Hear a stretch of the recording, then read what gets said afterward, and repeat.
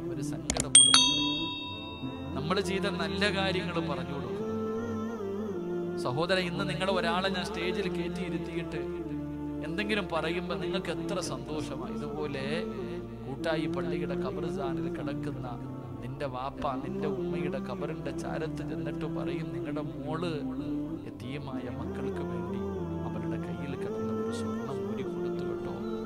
കബറാളികളെല്ലാവരും കേൾക്കും. അൽഹംദുലില്ലാ. ഉമ്മയ്ക്ക് എന്ത് സന്തോഷം? നമ്മുടെ വാപ്പയ്ക്ക് എന്ത് സന്തോഷമെന്നറിയോ? പഠിച്ചവനെ ഞാൻ കഷ്ടപ്പെട്ട് വളർത്തിയത് വെറുതെ ആയില്ലല്ലോ. എന്റെ മക്കൾ എന്നെ ഓർത്തല്ലോ. എന്റെ മക്കൾ എന്നെ ഓർത്തല്ലോ. അവർ കബറി കിടന്ന് സന്തോഷിക്കുമെന്ന. നമുക്ക് വേണ്ടി ദ്വാ ചെയ്യും.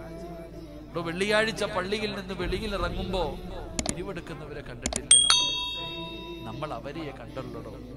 എന്നാ കബറും കാട്ടി കിടന്നിട്ട് നമ്മുടെ വാപ്പ നമ്മുടെ ഉമ്മ. നമ്മുടെ കുടുംബം